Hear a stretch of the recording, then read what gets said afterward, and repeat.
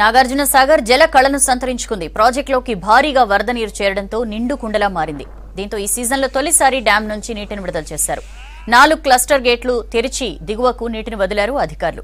నాగార్జున సాగర్ పూర్తి స్థాయి నీటి మట్టం ఐదు వందల తొంభై అడుగులు కాగా ప్రస్తుతం ఐదు వందల ఎనభై ఐదు అడుగులకు చేరింది. ఇన్ఫ్లో నాలుగు లక్షల క్యూసెక్లుగా ఉంది.